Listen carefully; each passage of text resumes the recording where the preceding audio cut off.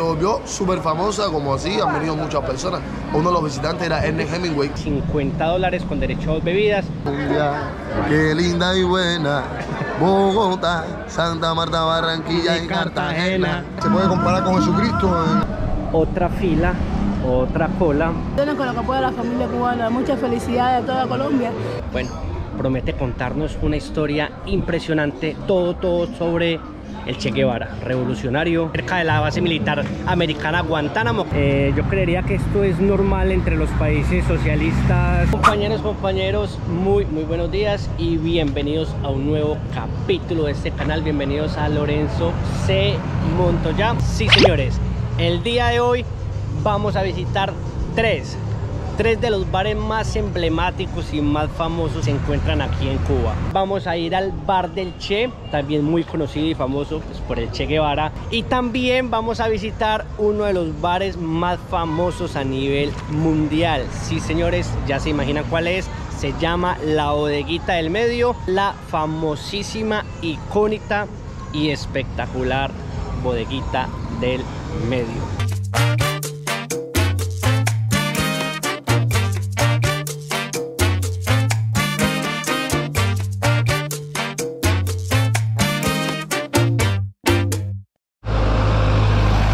Miren, vuelve la constante de todo este tiempo aquí en Cuba y son las largas colas, como les dicen aquí, o sea, filas para comprar un pan. Eh, yo creería que esto es normal entre los países socialistas, comunistas, como lo es Venezuela, que también pasa por la misma situación.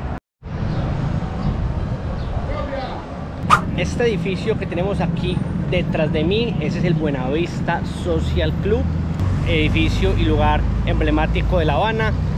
Aquí se toca salsa cubana para todos los amantes de la salsa, de la buena música. Aquí hacen el show todos los días en la noche. No puedo reservar. Igual la reserva está un poquito costosa, vale 50 dólares con derecho a dos bebidas. Entonces, bueno, de pronto por la noche me doy una pasadita, pero por el momento vamos para el bar de El Che.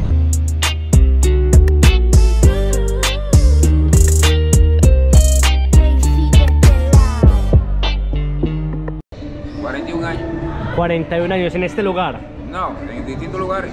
No, yo reparo y si ven, cuando aparece. Esto vale mil pesos. Mil pesos. O sea, dos, eh, cuatro dólares. Cuatro dólares. Allí también tenemos otra fila, otra cola. Ah, esta es para comprar huevos. Ahí están las canastas de huevos. Y aquí atrás también tenemos un montón de canastas de huevo. Acabamos, acabamos de llegar al bar del Che. Está aquí al fondo. Bueno, promete contarnos una historia impresionante. Todo, todo sobre el Che Guevara, revolucionario que llegó en 1957 junto con Fidel Castro y Raúl Castro a luchar por Cuba y a ser independientes y lo lograron.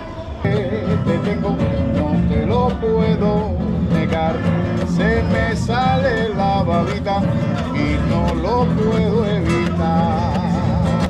Cuando Juanita y Chan Chan en el mar servían arena, como sacudí el nivel. Ah, come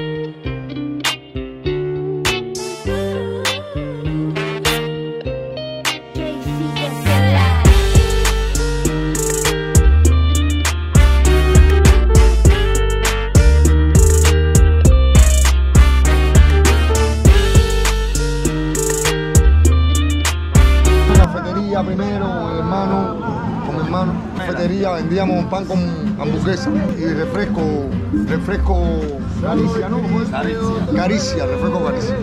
Cuenta, después vendíamos pizza. Tampoco dio la cuenta, después vendía pan con bistec. Tampoco dio la cuenta hasta que él me enseñó a hacer mojito. y ya hago el mojito y entonces todo lo que tiene que ver es con la energía del Che. El Che está presente. El Che Guevara. El Che Guevara. Ok. Argentino. Argentino de pura cepa. Sí, ya yo soy el que he puesto todos los adornos donde van, todo tiene un sentido.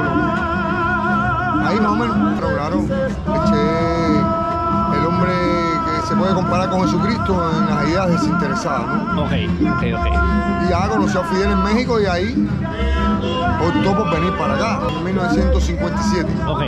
Triunfaron en en 59. Entonces, eché otras tierras del mundo, lo reclamaron y siguió. Ok, ok. Hombre honesto y humilde. Muchas gracias. A servirle, hermano. Un placer. Un saludo, chao. Chao.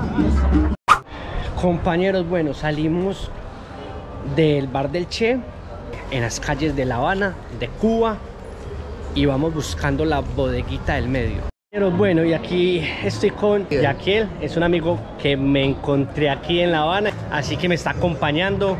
Él es de aquí de Cuba, pero vive a unos a unas 20 horas Unas 20, 20, 22 horas. cerca de la base militar americana Guantánamo, Ya se llama Baracoa. Para, para, Baracoa. Bonita ciudad. Un- la, bueno, la, la primera villa fundada en Cuba en el año 1511. Y saben, es una ciudad bella. Y él, y él muy orgulloso dice que es la, la ciudad más linda que tiene Cuba. El chocolate de Cuba sale de ahí, igual que el café. Llegamos acá a la bodeguita del medio, ya aquí él me acaba de traer. Luego, luego de que termine la gran visita, Ok. acá a la bodeguita, les cuento un dato pequeño sobre la original bodeguita. O sea, la original. De, era lo- de lo que era la bodeguita Ah, del ok. medio, a lo que es ahora. Listo. Pero bueno, Eso va al final. Eso va al final. Primero entremos y, primero adentro. ¡Queremos, te queremos! Colombia, Yo no- Sí, Colombia. ayúdenos con lo que pueda la familia cubana. Mucha felicidad a toda Colombia. Y mucha paz y mucha tranqui- tranquilidad.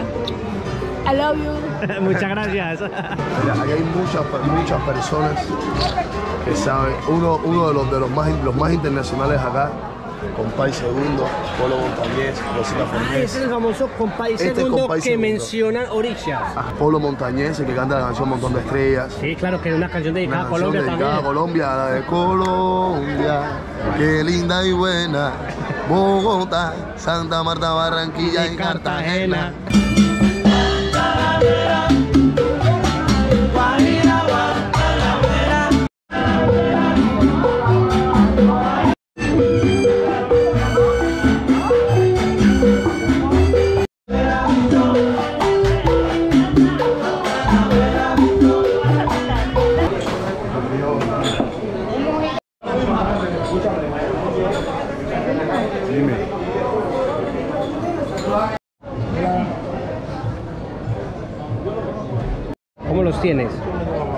Uno por uno, ocho por cinco. Se llama la bodeguita del medio porque esto era, o sea, era un bar típico donde venían muchos pescadores a tomarse su trago.